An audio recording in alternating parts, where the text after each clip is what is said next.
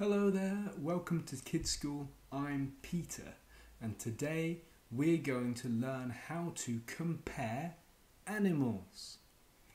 To compare two things, we add the letters ER after the adjective, the describing word.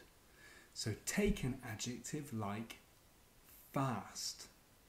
That becomes faster. The rabbit is faster than the turtle. Let's try it with the word big. The elephant is bigger than the mouse.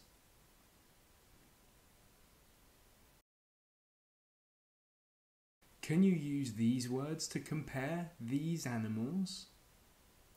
Tall.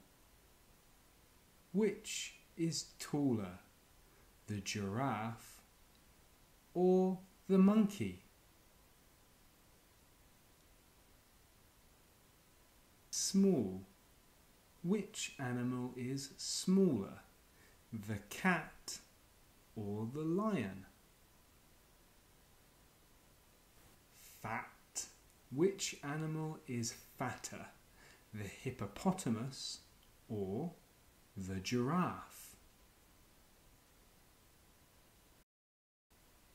Strong.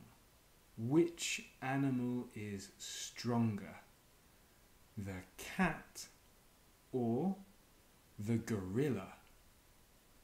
Now try to make some comparisons of your own. Have fun! Bye.